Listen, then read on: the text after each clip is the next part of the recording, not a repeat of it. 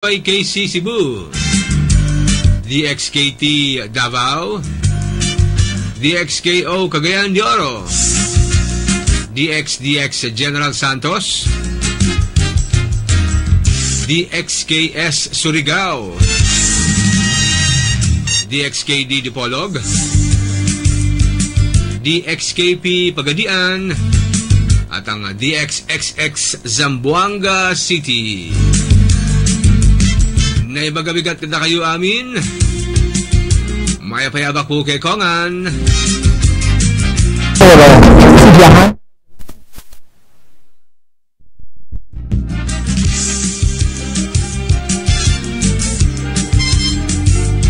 Mayong aga sa inyong uh, tanan.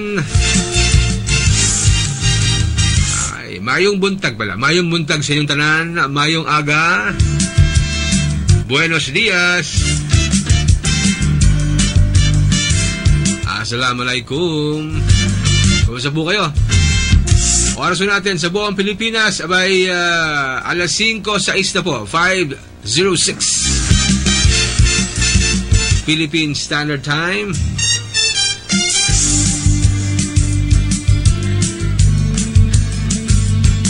KO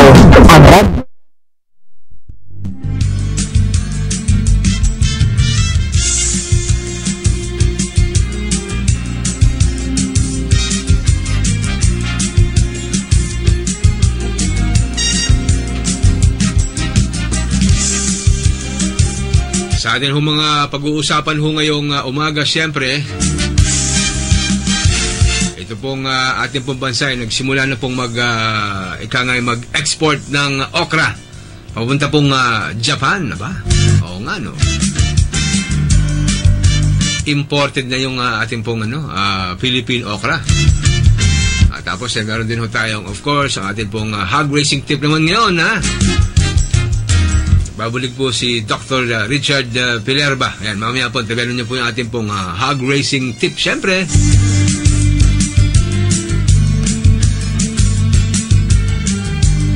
at of course, ang ating pong uh, very important weather update po this uh, Monday morning. At uh, of course, hanggang um, ito pong maghapon to malaman ho natin. Mula naman yan sa, siyempre po, sa pag-asa. Malaman natin kung ano ang uh, ikangay uh, lagay po ng atin pong panahon sa maghapon. Tabanan niyo po yan. At syempre po ay uh, limang tip naman po kung paano ho laging tayong ano, maging positibo, masaya sa buhay. At syempre po naman, eh, pag masaya tayo sa buhay, automatic eh, kasama na yung lahat yan. You know? Syempre sa pamilya, sa negosyo, ah, uh, sa trabaho. Ayan po, uh, mamaya, tabanan niyo po yan, ha, yung uh, limang tip natin para maging masaya, positibo po yung ating pong uh, pang-araw-araw na buhay.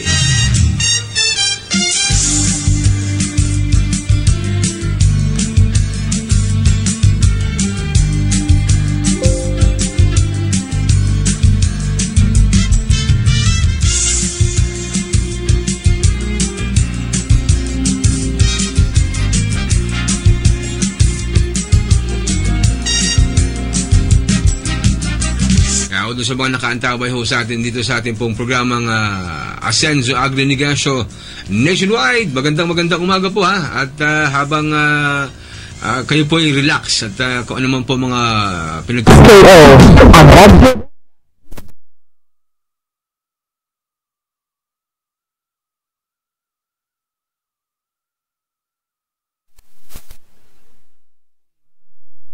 school year. Yan, school calendar 2020-2021 na kung saan po ay uh, blended learning. Ayan, ha?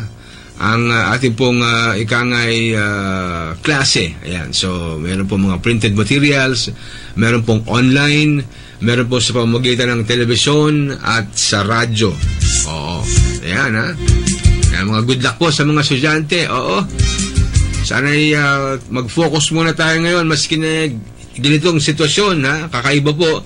Dahil wala hong face-to-face classes eh ano muna tayo? Uh, sa bahay muna. Oo, doon muna tayo. Ikangay mag, uh, mag-aaral. Uh, katulong po ng siyempre sa pamilya no? nanay, si tatay, yung mga kapatid ho.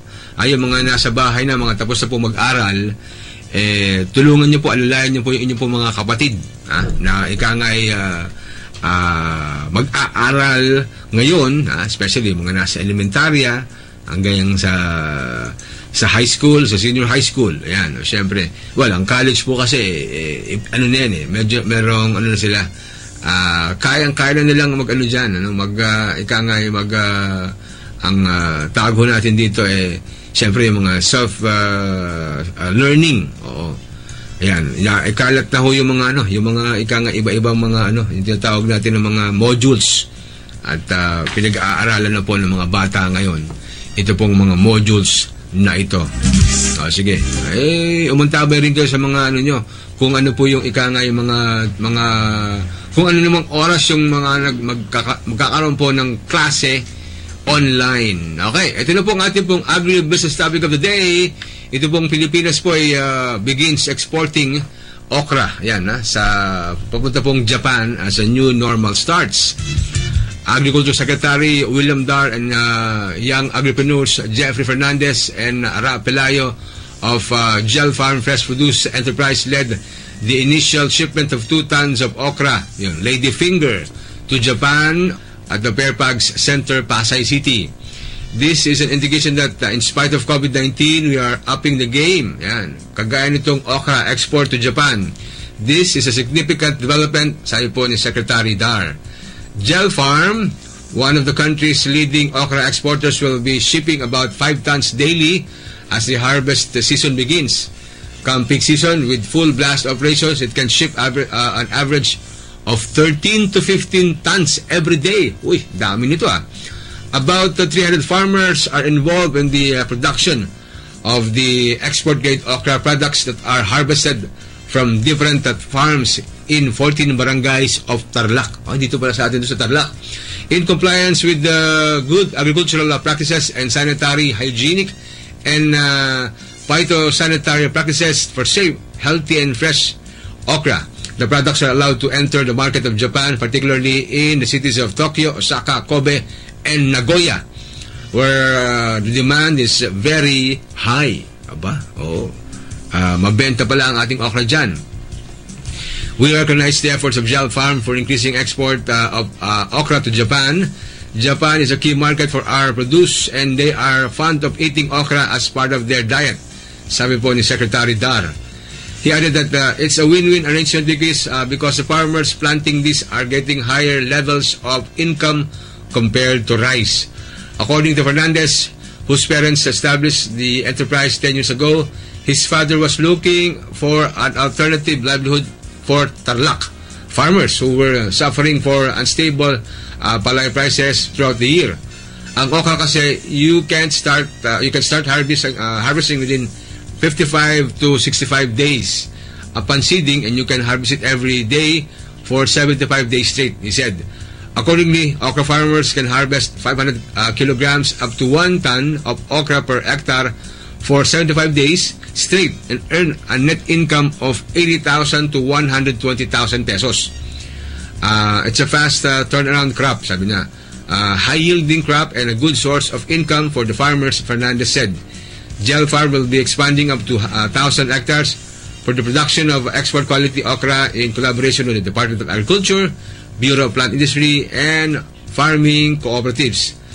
Uh, Secretary Dar committed to continue its support to the farmers and groups leading the uh, exportation of okra and uh, edamame, young soybeans that are also exported to Japan from Central Luzon to enhance the country's agricultural production and the livelihood of local farmers. Mabuhay ang mga magsasaka ng okra.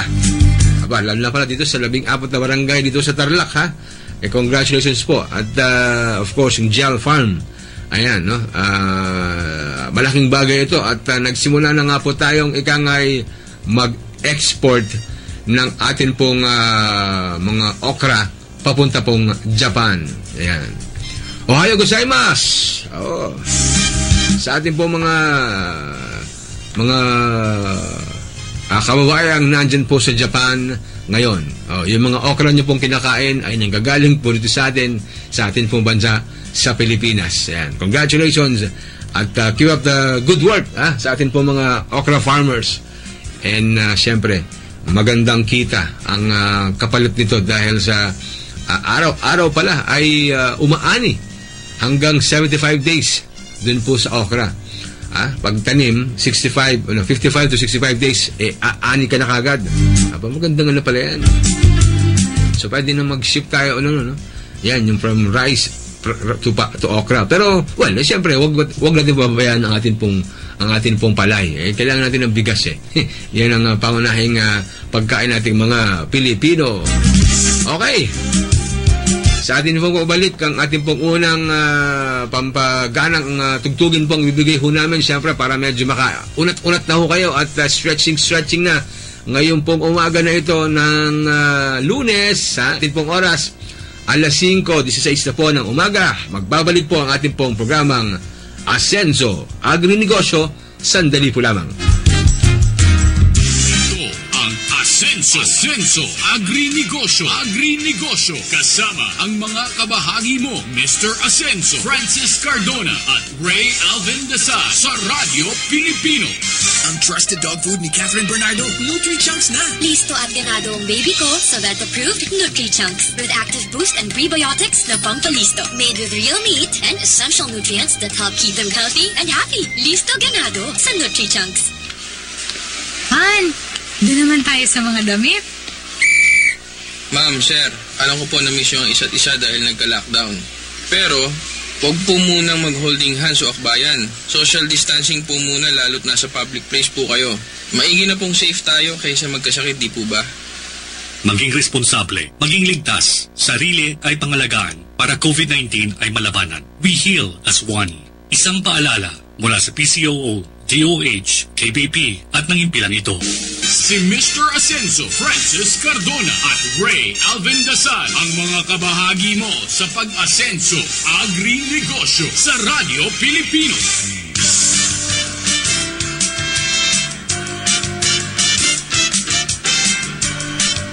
Okay, balik na tayo dito po sa ating pong uh, programang uh, Asenso Agri-Negosyo. Tuloy-tuloy na po tayo. At ito na po ang ating pong uh, unang bilang para po sa atin pong uh, mga kapinoy. Ayan, para mag uh, unat-unat at mag uh, exercise na po tayo ngayong umaga mula po sa VSTN Company.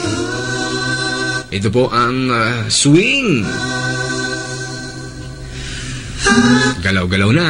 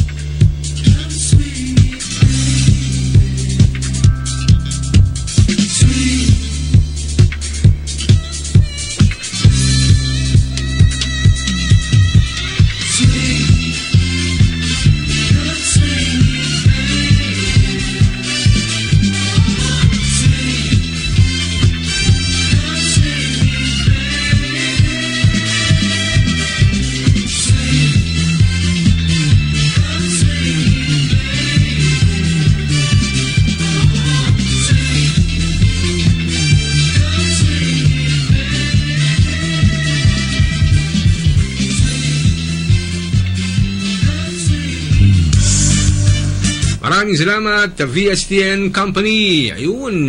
Ay, nako, nakita ko pinagpawisan ka, ha? O, kailangan natin yan, no? Exercise in the morning.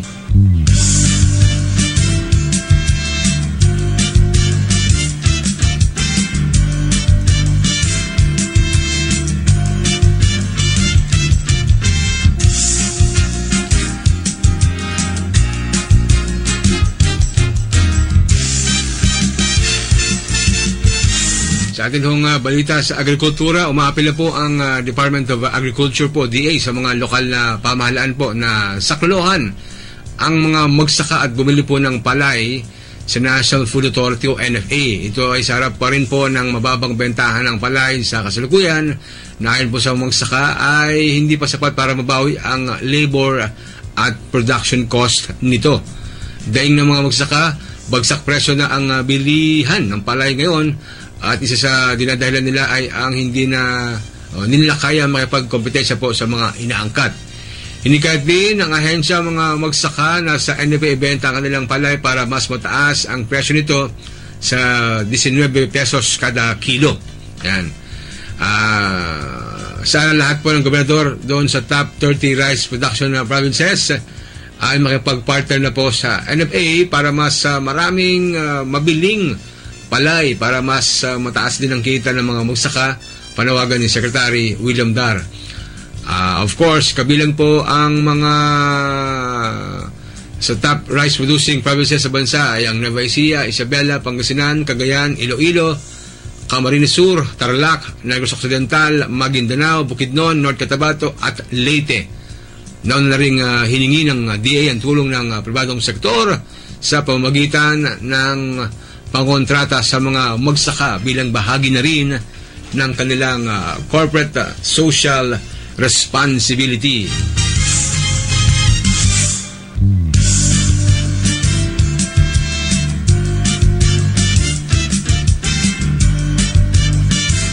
Yan po ang uh, panawagan ng ating pong Department of Agriculture sa mga local government units, mga probi probinsya at uh, tulungan po sa klolohan din ng ating pong mga magsasaka no na bumili ng o bilhin yung mga palay nila no.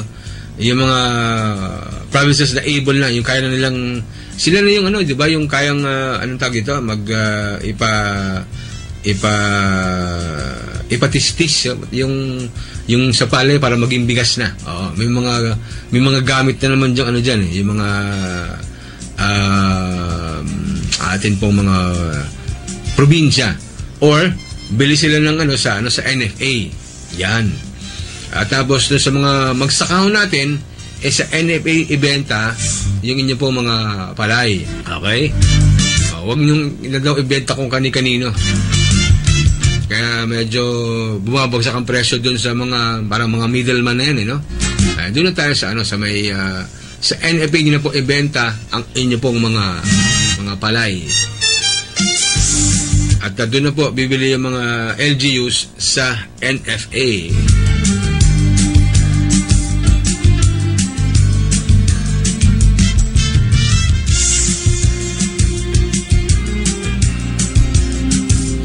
Okay. Magbabalik po ang ating pa rin pong programa ang Asenso Agri-Negosyo ha. At uh, mamaya, uh, kung uh, ma-establish natin ang ating pong uh, communication, no, yung link natin bet, uh, between pag-asa, eh, babalikan po natin kung ating pong uh, weather update. Babalik po ang, ang programang Asenso Agri-Negosyo, sandali po lamang. Bahagi mo, Radyo saan mang bahagi ng Pilipinas, sa saan mang bahagi ng mundo, anumang uri ng pamumuhay, kabahagi mo, kabahagi mo, Radyo Pilipino, Radyo Pilipino, sumasahim papawid sa DWPR 1296, Dagupa, DZTC 828, Tarlac, DZLT 1188, Lucena, DZYM 1539, Mindoro, DWRL 1080, Legazpi, DWRN 657, Naga, DY DYRB 54 Cebu. DYRL 1035 Bacolod DYRL 1134 Dumaguete DXCO 1044 Cagayan de Oro DXGS 765 General Santo DXOC 1494 Osamis DXOW 981 Davao at Radio Filipino Podcast Center Manila. Ito ang kabahagi mo Radio Filipino. Napapakinggan on air, on air. And online, online sa buong mundo? Sa pamamagitan ng www.radiopilipino.com radiopilipino.com Impormasyong may kalidad at serbisyong may halaga. Kasama katuwang kapinoy kabahagi mo. Kabahagi mo. Radio Filipino Radio Filipino Ang trusted dog food ni Catherine Bernardo, Nutri-Chunks na. Listo at ganado ang baby ko sa vet-approved Nutri-Chunks. With active boost and prebiotics na Pampalisto. Made with real meat and essential nutrients that help keep them healthy and happy. Listo ganado sa Nutri-Chunks. Iwasan ang pagkakaroon at pagkalat ng sakit na COVID-19. Palagi ang maghugas ng kamay. I-check ang temperatura para sa lagnat. Umiwas sa matataong lugar. Iwasang hawakan ang mukha kapag hindi pa nakakapaghugas ng mga kamay. Iwasan muna ang pagyakap, beso-beso o paghalik sa ngayon. Maging maingat, maging ligtas. Basta't laging handa at sama-sama, kaya natin to. Hatid sa inyo ng PCOO, DOH, KBP at ng himpilang ito. Anumang paglalakbay ng Pilipino, sasabayan ng Petron. Ang mga naglalakbay para makausad sa buhay, may kasabay sa daan. Ang mga naglalakbay ng malayuan, may kasabay sa patagalan. Para sa inyo, Petron XCS, our excellent cleaning system na nagbibigay ng better engine protection, improved combustion, and more mileage. Kaya bawat patak, maaasahan sa paglalakbay ng Pilipino. Petron XCS, kasabay sa lakbay. Si Mr. Ascenso Francis Cardona at Ray Alvin Dasal ang mga kabahagi mo sa pag-asenso agri-negosyo sa Radyo Pilipino.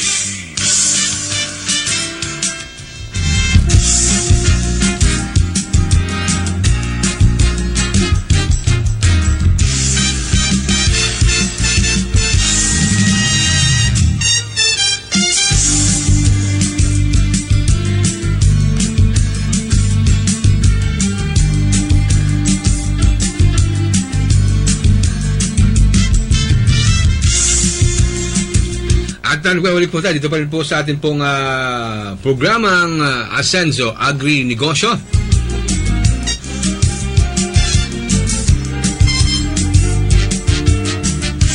Okay, habang ah, wala pa tayong uh, ikangay ano, ah, link ah, kay kasamang Jerry Cardona para po sa ating pong balitang Ascenso, papatuloy ho tayo at ah, dito pa rin po sa ating pong ah, ah, programa pong Ascenso Agri Negosyo. Ngayon naman ay ah, Balikan ho natin ang ating mga hog racing tips.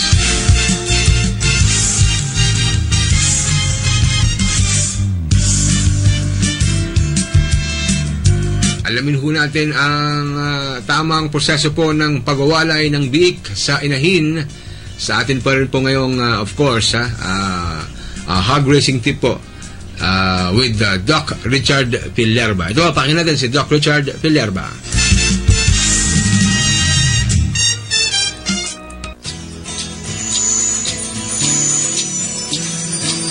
Good morning mga kabimeg!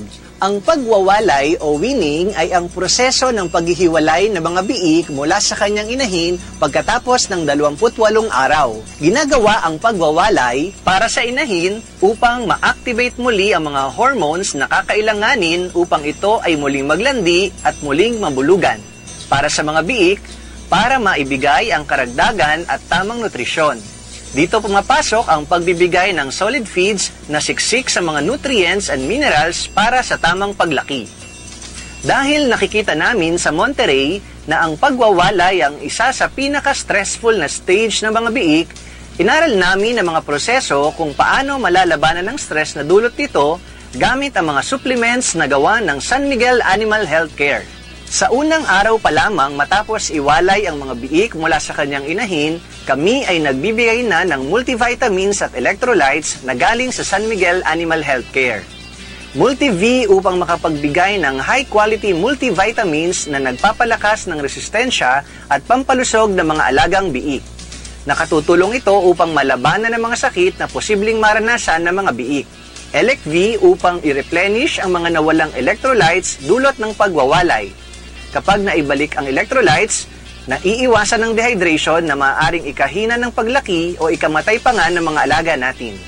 Binibigay ang pinaghalong Multi-V at Elec-V sa loob ng 5 hanggang 7 araw upang makatulong sa paglaban sa stress dulot ng pagwawalay. Sa mga kaso naman ng pamamayat ng ibang biik, maaaring makatulong ang Norovit, ang injectable preparation ng pinaghalong multivitamins at B-complex gamit ang dosage na 2 ml kada biik.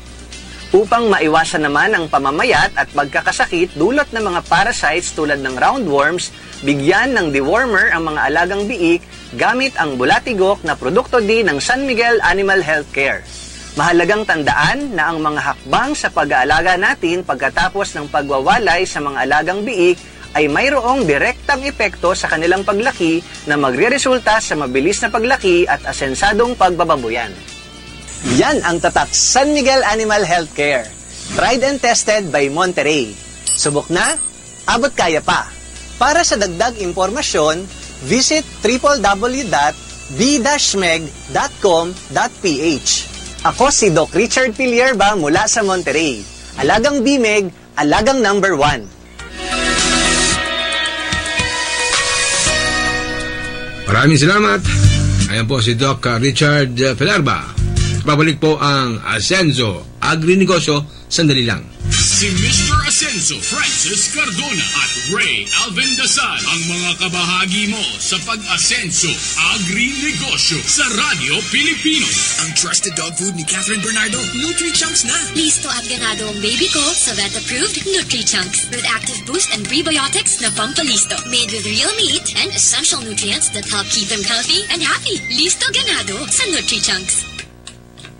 Happy birthday to you. Happy birthday to you. Happy birthday, happy birthday. Happy birthday to you.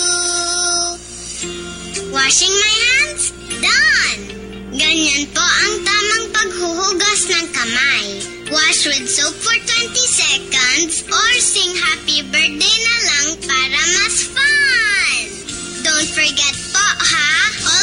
Wash your hands para sure na ang COVID-19 virus ay mamatay. Stay safe everyone! Maging responsable, maging ligtas. Sarili ay pangalagaan para COVID-19 ay malabanan. We heal as one. Isang paalala mula sa PCOO, DOH, KBP at ng impilang ito. Si Mr. Ascenso Francis Cardona at Ray Alvin Dasal ang mga kabahagi mo sa pag-asenso agri-negosyo sa Radyo Pilipino.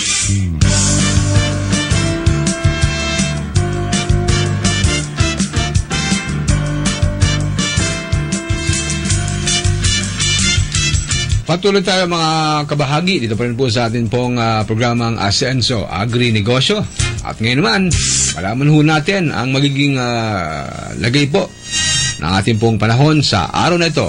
Narito po ang ah, pag-asa. Pag-asa, please come in. Magandang umaga. Narito ang magiging lagay na ating panahon ngayong araw at maging sa susunod na dalawa hanggang tatlong araw. Ang tailen ng frontal system ay nakatutok pa rin dito sa may bandang Bicol region, samantala ang amihan patuloy na umiira at nakakaapekto pa rin sa natitirang bahagi ng Luzon. Mayroon namang isang low pressure area na kanina itinatayang nasa laing 100 km southwest ng Cotabato City. Ito ay nakapaloob sa Intertropical Convergence Zone or ITZ na sa kasalukuyang nakakaapekto sa Palawan at sa Mindanao area. Asahan ng mga kababayan natin na maulap pa rin kalat-kalat ang mga pag-ulan at pagkidlat at pagkulog sa Bicol region at sa Mimaropa. Lalong-lalo na po dito sa Kabikulan dahil sa nakatutok na tailen ng frontal system, pinapayan yung mga kababayan natin dito na maging alerto sa mga posibleng pagbaha at pagguho ng lupa. Dito naman sa may bandang ah, Cagayan Valley, sa lalawigan ng Apayao, Kalinga, Mountain Province, Ifugao, at maging sa lalawigan ng Aurora sa natitirang bahagi ng Calabarzon, at kasama na rin ang Metro Manila, Ngayong araw ay asahan ng maulap na kalangitan na may mga mahina hanggang sa katamtamang pag-ulan. Sa natitirang bahagi ng Northern and Central Luzon, generally maliwalas naman ang panahon pero may tsansa ng ilang pulupulong mahinang pag-ulan. At dahil nga sa umiral na amihan, mababa pa rin ang maximum daytime temperature sa Lawag at Tugigaraw, posibleng umabot lang ng 28 and 26 degrees Celsius respectively ang pinakamataas na antas ng temperatura sa mga nabanggit nating lugar. Samantala sa Legazpi City, posibleng umabot ng around 28 degrees Celsius lamang, ganun din sa Kalayaan dahil inaasahan natin na generally maulap buong araw at may mga kasamang pag-ulan. Sa buong Visayas at Mindanao, maulap din at kalat-kalat ang mga pag-ulan at pagkidlat at pagkulog dala naman ang Intertropical Convergence Zone. Yung binabanggit nating low pressure area dito sa may bandang Mindanao, bagamat malit ang tsansa maging bagyo, yun nga ay uh, posibleng makaapekto pa rin sa ilang bahagi ng Mindanao at maging sa Palawan area sa susunod na 24 to 48 hours. Sa umiiral naman na amihan, inaasahan na magiging maalon hanggang sa napakaalon mga karagatan sa paligid ng Northern and Central Luzon. Sa western coast ng Palawan kasama ang Kalayaan Island, dito sa may bandang Lubang Island at sa eastern coast ng Quezon Province including Pulilo Island. Ganon din dito sa may bandang uh, Camarines Norte, sa northern and eastern coast ng Camarines Sur, sa northern and eastern coast ng Catanduanes at sa northern and eastern coast ng Northern Samar. Hanggat maaari muna po malawat yung mga kababayan nating mga ngisda at yung mga may malit sa sakyang pandagat dito po sa mga areas na naka-highlight ng red. May nakataas po tayong gale warning. Sa ating 3-day weather outlook, binanggit nga natin kanina yung low pressure area, malit ang chance maging bagyo pero makaka-apekto pa rin sa ilang bahagi ng Visayas, Palawan at Mindanao for the next 24 to 48 hours. Dito naman sa Metro Manila, iiral pa rin ang amihan kaya't asahan pa rin na maulap. May mga pag-ulan, ilang isolated thunderstorm lalo na sa Wednesday. And then inaasahan natin yung gradual improvement ng Thursday maliban na sa mahinang pag-ulan dito sa Metro Manila. Samantala sa Baguio City naman, generally maaliwala sa panahon, mahinang pag-ulan na dala ng amihan sa Tuesday, Wednesday and Thursday, possible na may mga isolated thunderstorms sapagkat uh, inaasahan natin yung temporary weakening of the amihan sometime this week po. Sa Legazpi City naman, inaasahan na posibleng nakatutok pa rin ang tele ng frontal system. Maulap, may mga pag-ulan at ilang pulupulong pagkidlat at pagkulog. Habang sa Cebu naman, yung improving weather condition, asahan po ng mga kababayan natin sa darating na Thursday. Sa Davao City naman, maulap pa rin sa Tuesday, may mga pag-ulan at pagkidlat at pagkulog gradual improvement ng weather pagdating po ng Wednesday and Thursday. At ang araw ay sikat mamayang alas 6.25 na umaga at lulubog alas 5.48 ng hapon. Karagdaga impormasyon online hinggil sa magiging lagay ng panahon ng iba't ibang bahagi ng ating bansa at ganoon din sa mga posibleng weather advisory na ipapalabas nga ng pag-asa mamaya alas 11 ng umaga, mangyari lamang bisitahin na aming website bagong.pag-asa.dost.gov.ph. Yan muna ang latest mula dito sa Pag-asa Weather Forecasting Center. Thank you very much uh, dyan sa Pag-asa. Babalik tayo. Balik tayo dito po sa ating pong programang Ascenso Agri Negosyo. Batiin ko lang si, uh, uy, kumaring Nat Mangune. Good morning. So, good morning para enjoy your day. Be safe. Ganon din si Maring Juvie Enriquez. Magandang umaga mga Mariko. And uh, happy, happy listening and happy viewing. Dito po sa ating pong program sa Ascenso Agri Negosyo. Ngayon naman, Punta tayo sa atin pong ano, yung 5 tips para maging uh, masaya. Happy life, happy uh, family, happy business. Ito po ang ating pong uh, limang tips na yan. Number one tip, eh mahalin mo ang iyong uh, sarili. Love yourself, sabi rito. Ay, ako eh, napakahalaga nito. Diba? Uh, let us, uh, syempre, uh, always love ourselves. Diba? Sino ba magmamahal sa sarili natin kundi tayo rin, di ba?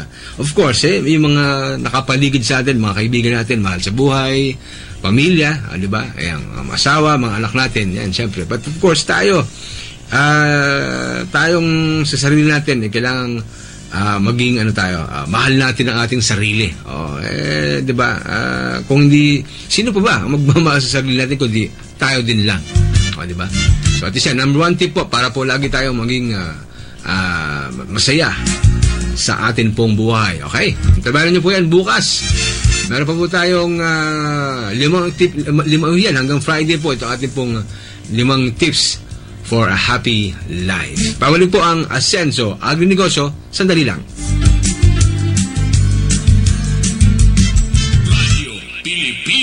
Trusted dog food ni Catherine Bernardo. Nutri-Chunks na. Listo at ganado ang baby ko sa vet-approved Nutri-Chunks with active boost and prebiotics na pampalisto. Made with real meat and essential nutrients that help keep them healthy and happy. Listo ganado sa Nutri-Chunks. Beso, mag-alcohol ka. Bes, dry na dry na yung kamay ko, kaka-alcohol.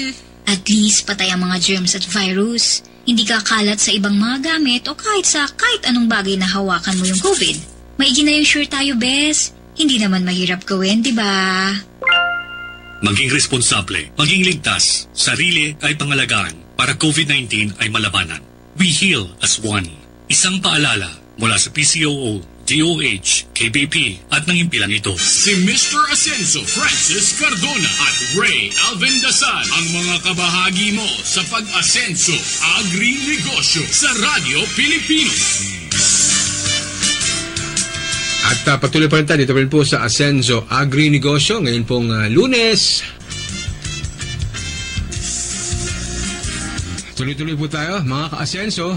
Kahapon po, nalaman po natin ang mabuting hangarin po ng GOAT Artificial Insemination Project ni Congressman Charlie Cuangco po ng uh, unang bisito po ng Tarlac. Napakahalaga po ng proyektong ito dahil uh, mapapabilis po nito ang produksyon ng ating livestock farming. Uh, sa gayon ay mas lalago po ang hanap buhay ng ating po mga livestock raisers. At higit sa lahat, isang napakalaking contribution po uh, sa mga ganitong proyekto at uh, sa pagpapanayan po sa Estado at uh, ating pong agrikultura.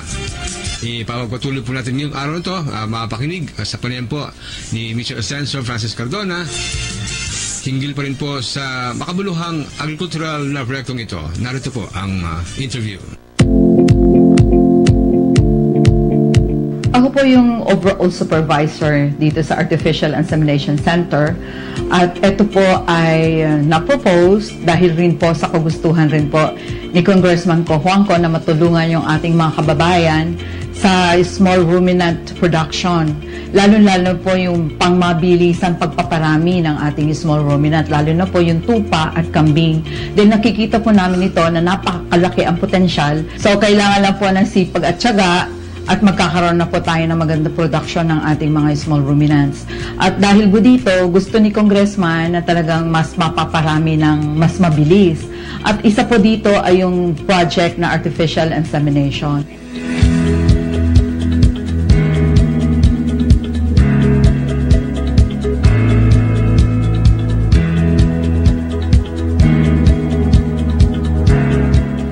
Ang gagawin natin, uh, kukolektahin natin si Milia and then after that, ilalagay natin siya sa isang machine na i-measure kung gaano ka-concentrated yung sperm cells. So, depende kung gaano ka-concentrated, hahaluan natin siya ng tinatawag na diluent. Okay, the diluent, yun yung nagpapadami. Para sa kambing, ang kailangan natin per dose is 60 million sperm cells.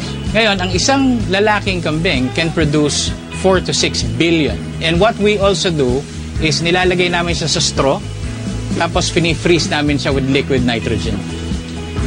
And that semen, yung similia na yun na frozen, can last for about 10 years.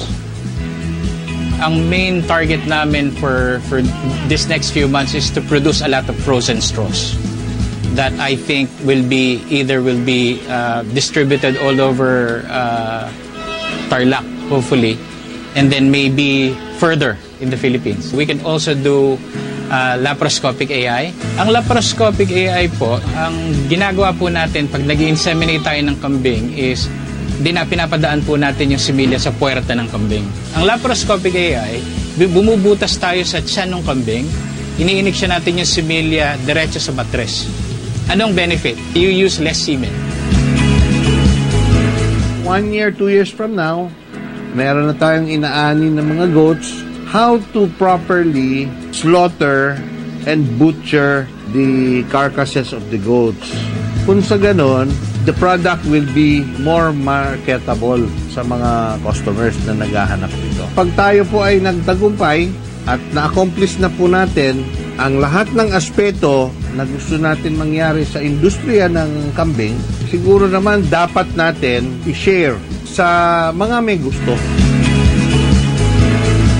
Actually, malaki po ang aming pasasalamat so, unang-una sa ating mahal na congressman kung hindi sa kanyang inisyatibo ay hindi tayo magkakaroon ng ganitong very sophisticated laboratory ng EI dito sa ating universidad.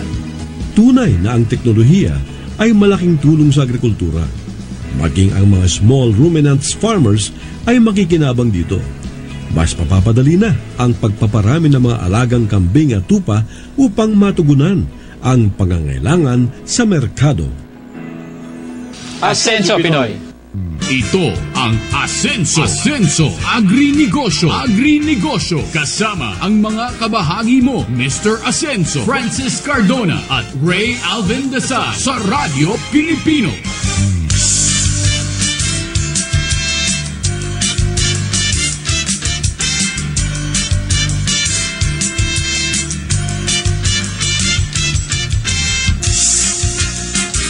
Dito na tayo pansamantalang magpapaalam uh, mga kabahagi.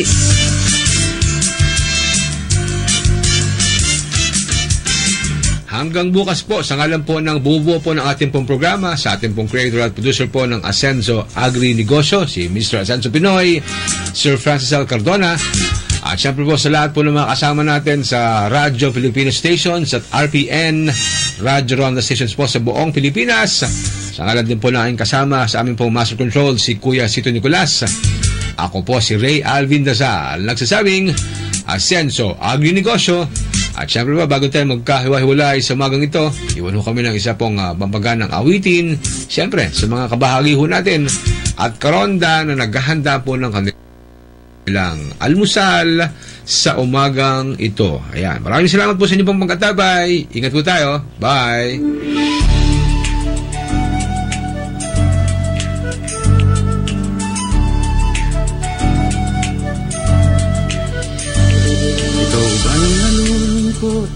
Naiinip na babago Ikaw ba'y napapagod? Araw-gabi puro kayo. Buhay mo ba'y walang saysay Walang sigla, walang kulay? Bawat araw ba'y pareho Parang walang magbabago?